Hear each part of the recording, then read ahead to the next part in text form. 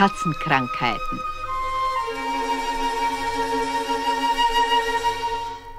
Hinter unserem Haus findet sich manchmal ein guter Bissen. Ein Heringskopf, ein Hühnerbein, ein Knochen oder dergleichen. Das duftet immer so gut und vielversprechend. Dorthin habe ich am nächsten Morgen Kiki geführt. Es war doch meine Pflicht, sie zu warnen. Pass auf, Kiki, sagte ich. Das alles, was du hier liegen siehst, ist strengst verboten ins Maul zu nehmen. Als ich noch klein und unerfahren war wie du, bin ich öfters hierher gekommen und suchte mir immer von den duftenden Dingen etwas aus. Aber das war ein großer, großer Fehler.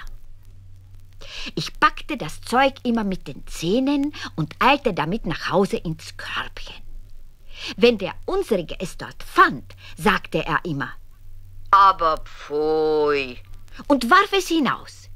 Ich suchte es mir draußen wieder, und wenn er nicht aufpasste, brachte ich es schnell zurück. Er sagte wieder, pfui, und warf es abermals hinaus. Er war ärgerlich, ich war auch ärgerlich. Er wusch sich die Pfoten und ich knurrte zornig. Trotzdem habe ich immer und immer wieder solche verbotenen Dinge herbeigeschleppt, bis ich eines schönen Tages davon krank wurde. Ich bekam heftige Bauchschmerzen, hatte eine heiße Schnauze und konnte überhaupt nicht mehr fressen. Da verkroch ich mich in mein Körbchen, denn mir war sterbenselend zumute. Aber der unsrige nahm mich heraus und trug mich weit fort.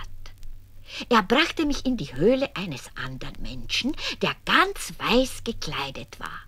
Der betastete mir die Schnauze und schaute mir in den Hals.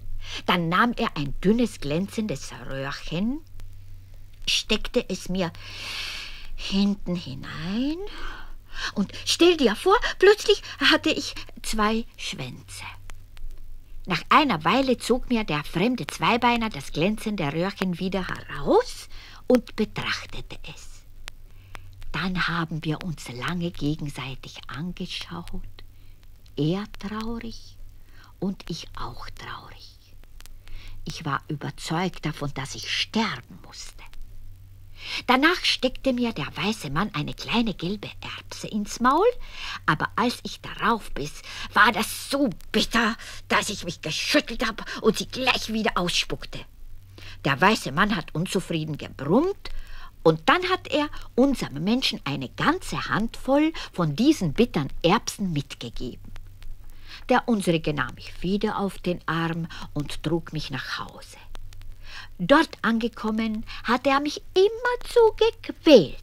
Er wollte unbedingt, dass ich diese bittern kleinen Erbsen fresse. Ich habe mich gewehrt, habe geschrien und gekratzt und nicht eine einzige geschluckt.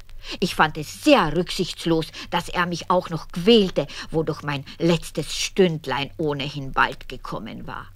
Was nützte es dann, wenn er mich hinterher streichelte und leise auf mich einredete?